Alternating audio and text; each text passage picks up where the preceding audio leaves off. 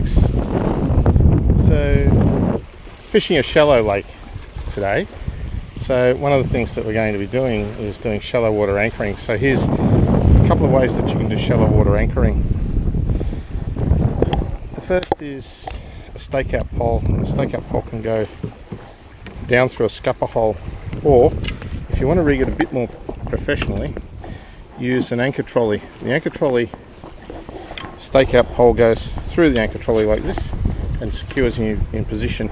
You can then, by the use of the pulleys at either end, you can then move the anchor point to wherever you like on the side of the kayak, thereby being able to angle the boat. You can also use the anchor trolley for one of these. So if you're fishing near structure, handy thing to have is a grab anchor. So a grab anchor is simply one of these. It's a it's a clamp, bit of shock cord, and you just clamp it to there. And again, you can manoeuvre the boat wherever you like, um, attitude wise. If you want to spend, and both of those are pretty cheap, you can make these through uh, your local hardware store. So something like that's going to cost you less than $10 to make. And you'll probably spend upwards of $30 making a decent anchor trolley.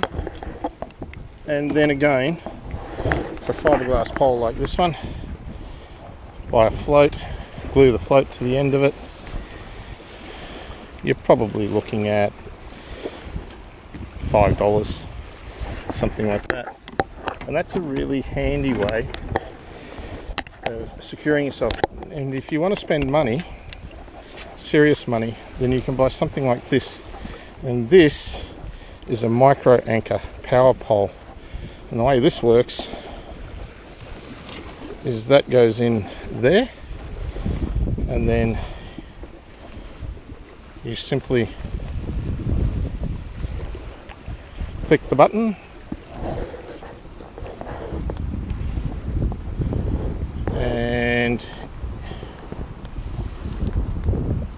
it will secure you and hold you in position. So a really easy way, but for something like that, it's much more expensive. Anyway, I hope this has been of some use to you. Handy ways to anchor yourself in shallow water options. Now I'm going to go chase some bream. See you.